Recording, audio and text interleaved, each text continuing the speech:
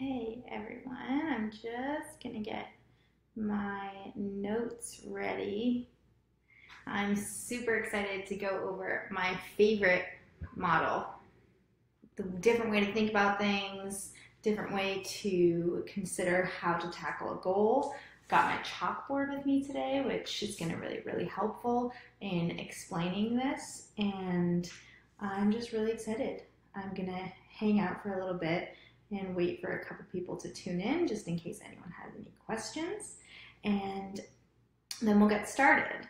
Uh, yeah, this model was presented to me. I got a business coach last year, and she presented this model to me in a number of different situations. And I really think that it can apply to any goal that you're after, whether that's wanting to lose weight, whether it's wanting to qualify for the CrossFit Games, whether it's wanting to have a six pack, to be the CEO of a company, to create your own business, whatever it is, this model is going to apply. And I think that it's going to be super useful for you guys today. So I'm going to start. And the way that it goes, I'm going to start, I'm going to draw it on the board because it's super visual to see it is that I just dropped my chalk.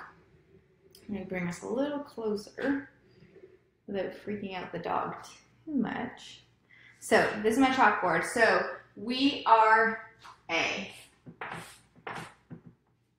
This is where we are when we're starting any type of journey, when we're starting a, before we start on a mission to accomplish some type of goal, we're at A. The goal is B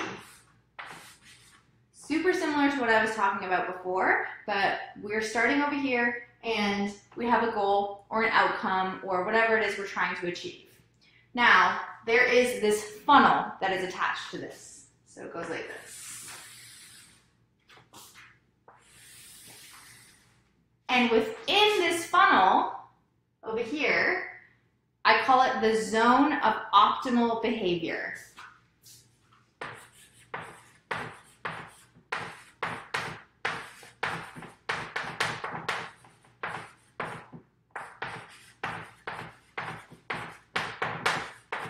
So inside this funnel over here is going to be your zone of optimal behavior.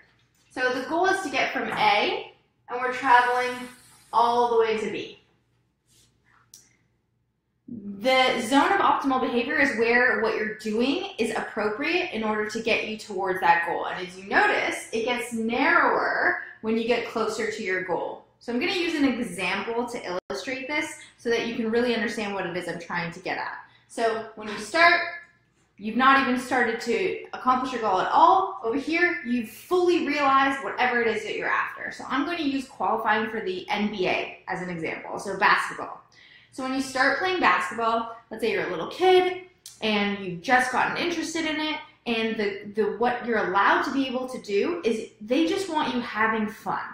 You're allowed to hold the ball and run with it. You don't even have to move in the appropriate direction. You can dribble the ball. You can throw it off the court. They just want the kids on the court playing with the basketball, having a good time.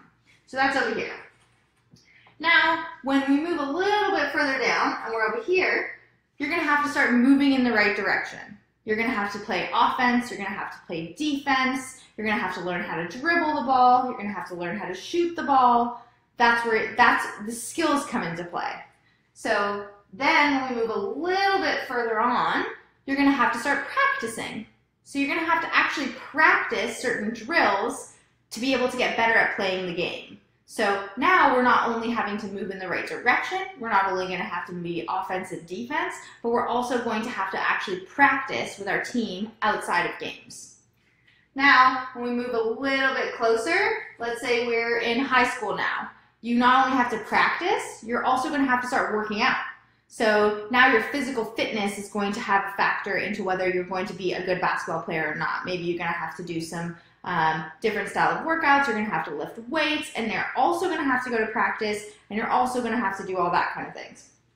Now, you get a little bit closer, and we want to play college ball. So if you want to play college ball, you want to get into a good college. You might have to get a certain certain GPA. So you need to get certain grades you also need to work out. You also need to uh, be at practice. You need to be a good team player.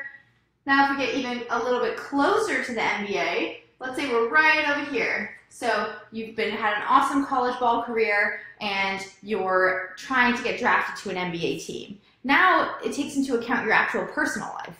So the media gets involved. If you've uh, some players get kicked off teams for having DUIs or having other issues, and some some maybe criminal offenses or things like that. Your personal life gets taken into account. You have to be a good role model as well. So that gets taken into account in order to get to B. What is you can't do anymore when you're over here is you can't just move in the right direction. So moving in the right direction, which when we were little kids, is probably somewhere over here. So over here, you just need to have a good time and move in the right direction. So when we move closer to B, now we're outside of the zone of optimal behavior.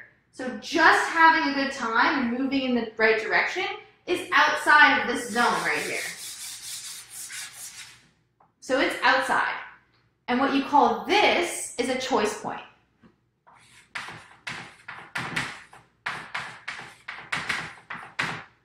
So if you still want to move towards B and you still want to accomplish this goal, you now have a choice. So your choice is either to adjust and move into the zone of optimal behavior or you leave. And you just abandon attacking B altogether. So those are that's a choice point people often, when they're in this situation, so when you get to this situation, when you're out of the zone of optimal behavior, and this applies for any single goal, I'll use a couple other examples as well. When you're here, people want to go back to A. That's the a very, very important part of this model is that you can't go back to A. Everything behind this point is gone. It's no longer available the option's not there. You can no longer just move in the right direction. You either have to move into the zone of optimal behavior or you have to leave. There is no option of going back to where it's comfortable. And that's what a lot of us do when we get to a difficult point of when we're trying to achieve a goal. We're like, well, this used to work. I used to be able to make progress if I was doing X, Y, and Z, but it's not working anymore because you're outside of that zone of optimal behavior. And it's just not an option to go back to A. It's also important to remember that when this is being applied to something like nutrition, it's, and even basketball, for any single goal, this line is not linear. So it's going to be something like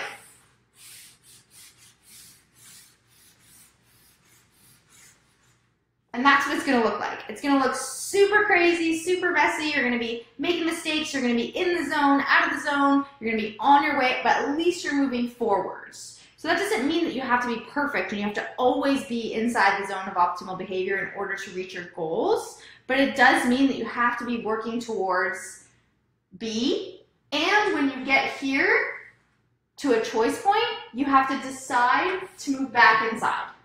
And if you don't move back inside, then you can't work towards B anymore.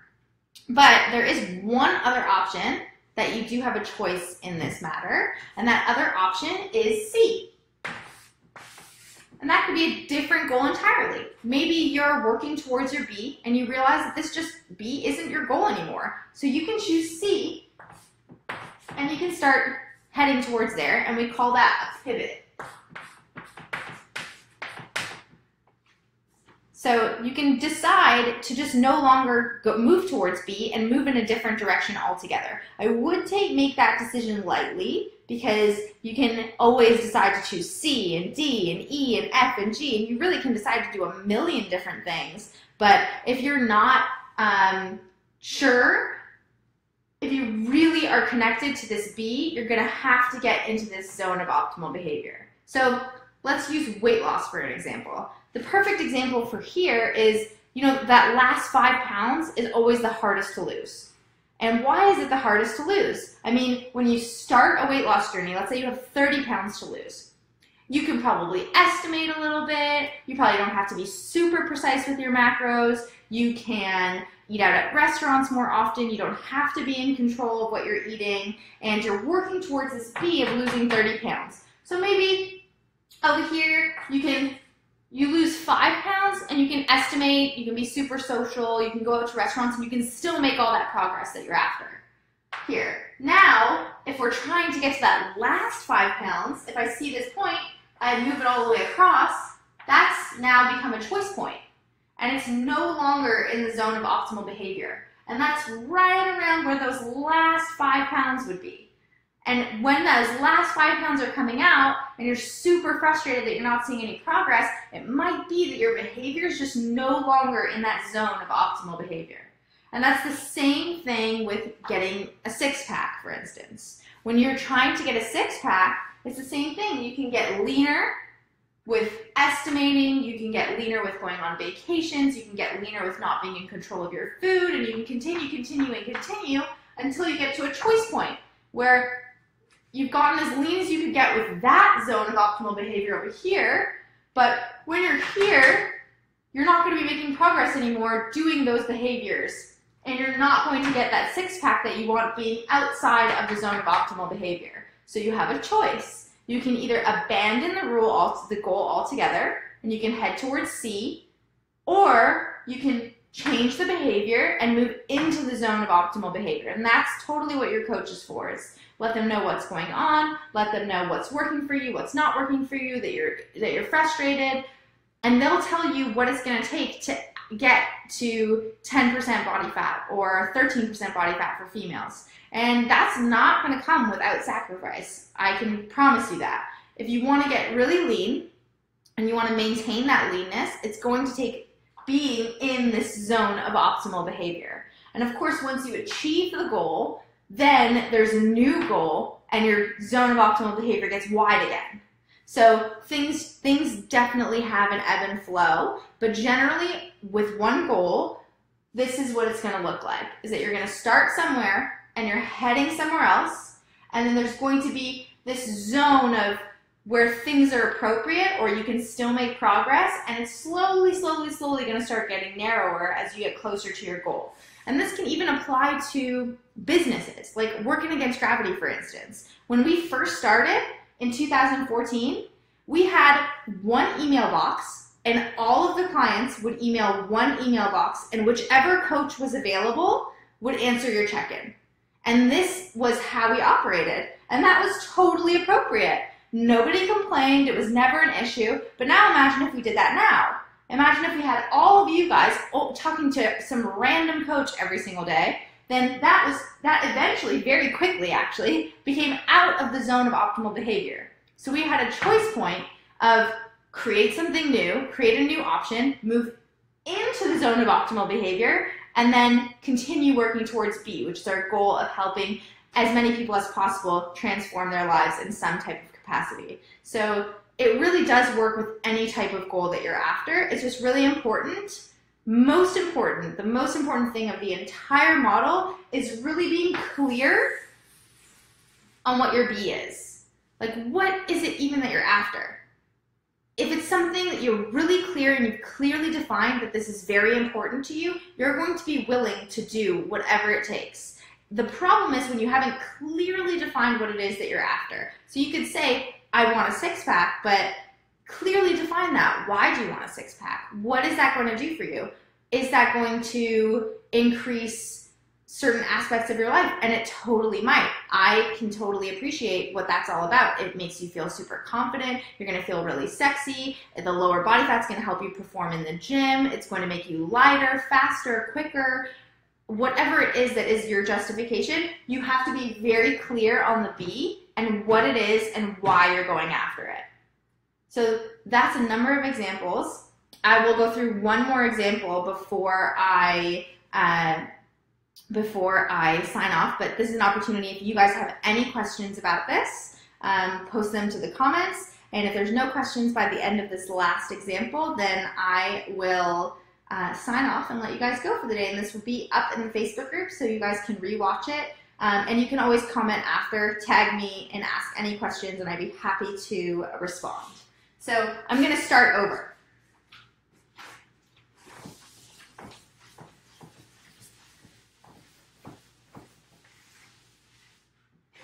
So I'm going to use um, qualifying for the CrossFit Games as an example. So here's A, and here's B. And for those of you that don't do CrossFit, qualifying for the CrossFit Games is really similar as qualifying for the Olympics or qualifying for World Championships. It's a really, really difficult event to qualify. It's very similar to qualifying for the NBA, uh, the NHL, the NFL, whatever professional sports league that you follow. It's very similar. So this is A. You're just starting CrossFit. You've never done CrossFit before. You're pretty athletic, but you've never really d- dabbled in the sport yet. B is qualifying for the CrossFit Games. Now here is our zone of optimal behavior. So you're chugging along, you're going to the CrossFit classes, you're going to like around four or five CrossFit classes a week. It's probably four or five hours of working out a week, and that's working well for you. You're making progress, you're hitting PRs, and that's what's going on.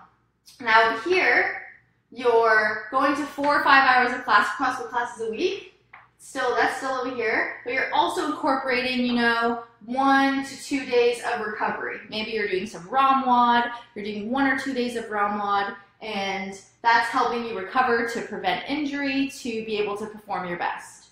Now we keep moving forward, you add in some accessory sessions. So you're still doing the to two days of ROM a week, you're still doing the four to five hours of CrossFit classes a week, but now you're also adding in some extra accessory work. And this is all still in the zone of optimal behavior. Now, you're going to have to get a CrossFit coach. You need a coach who's going to be programming for your individual weaknesses. So you have a CrossFit coach, you're doing accessory work, you're doing some ROMWOD, and you're doing the four to five classes a week. So now you can see this is quickly approaching a choice point. So doing the ROM in your recovery, doing your accessory work, getting a coach for programming is likely going to be continued to be necessary all the way to B. This over here is quickly going to become out of the zone of optimal behavior and it's going to become a choice point. And this is going to be you either, most CrossFit Games athletes don't just participate in the classes for their workouts. So they're going to have to do something that's programmed by a coach, or they're going to have to do a lot of extra exercise. They're going to have to likely be working out much more than four to five hours a week. So it's going to often be four hours a day um, with some rest days in there. So this is a choice point. Do you decide that you're going to work towards C, which is maybe C is trying a different sport altogether. I've seen some athletes go into weightlifting. I've seen some athletes go into bobsled um, whatever it is that you decide to do, is powerlifting, are you going to choose a different C altogether? Or are you going to just leave and abandon the goal? Or are you going to go into the zone of optimal behavior and decide that you want to continue trying to make it to the CrossFit Games? So I challenge you guys to take any goal that you're after right now, whether that's getting a promotion at your job, whether that's um, being a better wife or a better husband, a better mother, a better father, uh, whatever it is that you're trying to achieve, and think about it in this model and think about what behaviors that you're doing that fall a little bit outside of that zone of optimal behavior if you've stopped making progress. So if you're frustrated with your lack of progress and you feel like you could be doing better and you really want to get to be your, your goal or your outcome, then I challenge you to think about this and think about maybe there's certain things that you're doing or certain behaviors that you're constantly participating in that are choice points for right now. That doesn't mean that you can't make mistakes. It doesn't mean that you can't hit a choice point, get back in, get out again, and have to hit another choice point, get back in, get out again, maybe move back a little bit, but there's no option to go back to A. So once you've decided that you're going towards B and you're staying towards B, you can't go back to just four to five hours of classes a week. It's not going to take you closer towards B. That's not an option anymore. It's gone. You're not going to continue making progress there. So that's important to remember. Don't make don't get too hard on yourselves for getting out of the zone of optimal behavior. You have tons of time. B's not going anywhere, and you can always choose another option altogether. Uh, but if you're really passionate and you're really sure about what you want in terms of B, I would definitely stick to it and talk to your coach about what they think that maybe could be some behaviors that bring you back into the zone of optimal behavior and uh, see what they think. I hope this was helpful for you guys. I know it was super helpful for me and it's helped me in so many different aspects of running this company, of being an athlete, as well as with my nutrition. So Thanks, guys.